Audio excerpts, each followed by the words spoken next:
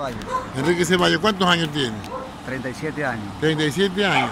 Oye, ¿y tú consumes droga? Claro. ¿A los cuántos años caíste en la droga? Eh, de los 12 años. ¿Y, y con qué droga caíste? Primeramente con la solución. Pero tú sabes, ¿y te acuerdas quién te brindó?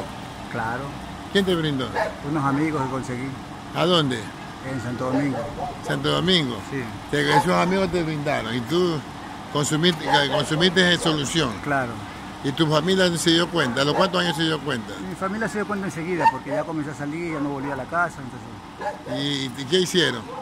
Y lo que hicieron fue este, buscarme, me buscaban. Te buscaron y Y ahí me ¿Y te encontraban. encontraron? Me encontraban, me llevaban a la casa, pero yo me había acostumbrado a la calle. Entonces salía nuevamente a la calle. Dos días y me iba a la calle nuevamente. ¿A qué te iban a calle? Ah, sigue la rutina. Pues yo ¿Y qué consumía? Eh, Solución. Cemento con talco, solución. Ah, ¿y Sí. cuántos años tuviste en la solución? En la solución tuve como unos 12, 4 años, 6, 5 años. ¿Y menos. ahí? Y de ahí para acá conocí otros amigos que ya consumían marihuana, tomaban trago y consumían marihuana. Comencé a consumir marihuana, trago, polvo. Y ya, pues ya me hice un adicto ingobernable. Ya, ¿y, y, y de dónde sacaba plata para consumir? Eh, anteriormente yo pedía, ¿Pedías? sí, pedía así centavos, dólares. Y ya después por ahí me iba a los mercados a cargar. Pero no has robado. No, no, no. Nunca. No, no, no, no. Bueno, y, pero tú dices que te has hecho cristiano. Claro, sí. ¿Cómo, ¿Y cómo te convertiste al Evangelio? ¿Quién te convirtió? Bueno, el, eva- el evangelio, yo para llegar al evangelio, eso vino por medio de oración y ayuno por mi madre. Ella fue la primera cristiana. ¿Ya? Y después que ella se hizo cristiana, entonces comenzó a clamar a Dios, pero yo estaba en la droga.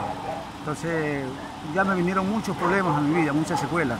¿Cómo qué, más o menos? Eh, por ejemplo, me pegaron una puñalada por aquí, me pegaron otra por acá, por aquí me pegaron otra. ¿Qué, ¿Por quién te pegó esa puñalada? Eh, amigos de la calle. Amigos no son los amigos. pues. Bueno, pues uno le dice amigo, pero en- ¿Y por qué te pegaron esa puñalada? porque en la calle hay unos que quieren ser más que otros y entonces pues eh, ese es el problema. Y tú no te dejabas. Yo no me dejaba, pues entonces me cogieron, me puñalearon y, Y casi te matan. y casi me matan. sí. ¿Y tu familia qué hizo? Y ahí mi familia me recogió, me curó y ahí lo fuimos a vivir nuevamente a Esmeralda. ¿Y? Entonces llegué a Esmeralda, pues ya me fui con mi mujer, tuve cuatro hijos con mi mujer y ahí los separamos con ella, tuvimos problemas. Yo por el causa del Evangelio, me metí al Evangelio, ella no quiso seguir el Evangelio. ¿Ah? Lo- yo me metí al Evangelio ¿Ya? y ella no quiso seguir el Evangelio. ¿Ya? Entonces yo seguí, seguí avanzando, avanzando, avanzando, tuve nueve años parado. Nueve años en el Evangelio. ¿Qué predicaba? Eh, servía, era un servidor de Cristo, claro. Ya. ¿Y? Y ya, pues entonces tuve problemas en cuanto al matrimonio porque me salió una, una hermana para casarme ahí, Dios me puso una esposa y tuve problemas, dificultades. ¿Con ella? Claro, no, no, con ella no. O sea, el testimonio, por lo que yo había venido del mundo, he sabido, entonces no falta uno que le diga, mire, ¿usted qué va a hacer con ese hombre? Viene así, así, asado, entonces se dañó el... ¿Y tu mujer? ¿Y a, y a tu mujer, la madre de tus hijos? Yo con ella estaba separado ya. Ay, te puso, te, te puso otra, una hermana. Dios me puso una hermana. Y, y- y- y no, no te dejaron que te cases con ese hermano. No. ¿Quién? Eh, Los sapos. pa- algo así. Los, ma- los metidos, la familia de la Claro, mamá. sí, sí. ¿Y ahí? Entonces ya, pues entonces eso pasó y me fui decepcionando, me fui perdiendo, perdiendo, perdiendo, hasta que ya ¿Te saliste de la iglesia? me salí de la iglesia por esa razón, porque estaba enamorado ¿Por culpa de quién? Eh, hablemos, fue un error mío, me enamoré, Te me enamoraste. ilusioné, ¿sabes? ¿Y? Carnalmente y me dejé llevar por esa emoción. Y te fuiste al, de- al mundo. Y me fui al mundo nuevamente. Y estás en el mundo ahorita. Eh, ¿O así. volviste de nuevo a la, a la iglesia? No, sí voy los domingos, voy. Los Va domingos, sí, pero, pero domingos. sigue consumiendo droga ahorita. Mm, ya ¿Que no. te saliste? Alcohol, alcohol consumo. Ah, no consume droga No, alcohol. Pero es droga también. Claro, pero ya, ya no es como antes. Pero antes era, por ejemplo, 10 días enteros, amanecida, 2, 3, 4, 6, 8 días. ¿Y en qué trabajabas? Eh, me dedico al reciclaje. Eso que está, esas fundas son tuyas. CDT, cartón, botellas, chatarras, botellas de ¿Y plástico. cuánto te haces diario ahí? Eh, no es mucho, porque el quintal de cartón está a 4 dólares. A veces, por ejemplo, ahí llevo 50 libras de cartón. Son 2 dólares. Dos Eh, dólares ahí. Un kilo de botella, 50 centavos, son 2.50. Y por ahí chatarra unas 10 libritas, unas 20 libras, un quintal que me consiga. ¿Cuánto? 8 dólares. ¿Te hace cuánto por todo? Unos 12, 15 dólares. Todos los días. No todos los días, porque todo- hay bastante chatarrero, hay competencia bastante. ¿Qué fue? ¿Y, y qué haces con esa plata? Eh, con esa ¿Tú plata... tomas todos los días? No, sí, claro, eh, pero no todos los días. ¿Y dónde vives tú? Vivo aquí en el Mar del, Pacífico. ¿En alguna casa? Sí, ¿Cuánto paga ahí? 30 dólares Mensual. mensual. Pero y no ha buscado, no, no ha buscado mujeres. No, porque la condición que estoy, o sea, primer lugar un caído y segundo lugar, no, no da para eso. Pero sigue yendo a la iglesia, pues ñaño. Sí, pero es que no El Señor tengo, Jesucristo tiene, tiene misericordia de... sí, pero no tengo un o sea, no tengo un trabajo seguro, tengo que tener un trabajo seguro para poderla mantener. Pero de la chamba, pues. Bueno, pues Dios Dice que te gana 12 dólares diarios. Claro, no todos los días, a De veces, repente puedes ganar más, pues. a veces 8, a veces, como decía hoy día, me he ganado como unos 6 dólares. 6 dólares. Pues ya, pues ya hice 6 hoy día, y 8 ayer, y 20 más allá. No, pues que todos los días no son eso, pues a veces ¿Y cuál profesión tiene usted? Yo aquí en este bebé, yo sé albañilería, yo sé pintar, yo sé pastear, soy carpintero, le hago el machete, hago carbón. Pero ya no consume, va- no va a consumir droga más. Eh. Dile la plena. Bueno, decir que no va a consumir no puedo, es una mentira. Sí, sí consume. Claro, pues eso de Pero de repente sí consume. Claro, de Pero ya no como antes. Ya no como antes, pues. Pero sí de vez en cuando, por ejemplo, así los días sábados, un feriado, antes de un feriado. Te pegas una pistoleada. ¿Qué? ¿Maduro o pistola? Pipa, Pipa. pipa, Chupa.